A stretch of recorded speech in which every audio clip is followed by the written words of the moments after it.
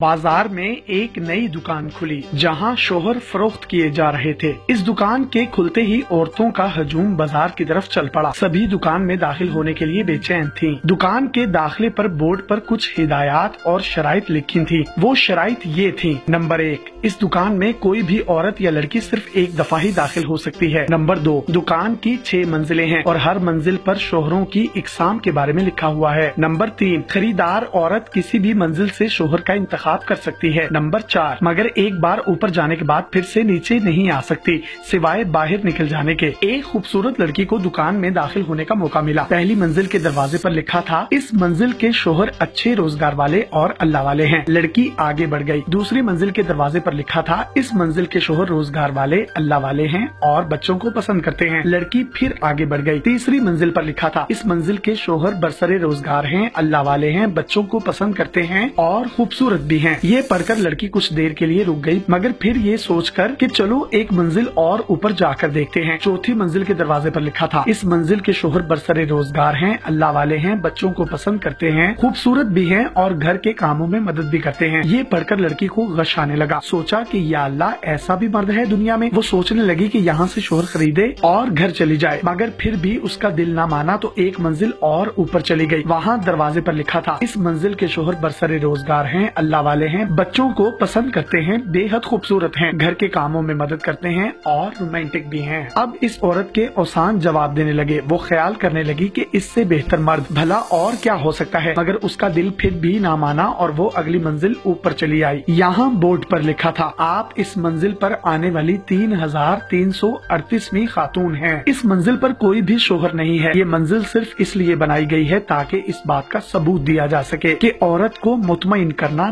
नामुमकिन है। हमारे स्टोर पर आने का शुक्रिया। सीढ़ियाँ बाहर की तरफ़ जाती हैं। हासिल कलाम ये है कि औरत को मुतमिन करना दुनिया का मुश्किल तरीन काम है। मजीद इस तरह की वीडियोस हासिल करने के लिए आप हमारा पेज डेली पाकिस्तान भी लाइक कीजिए। अपने मेजबान यासिर शामी को इजाज़त दीजिए। अल्लाह हाफिज।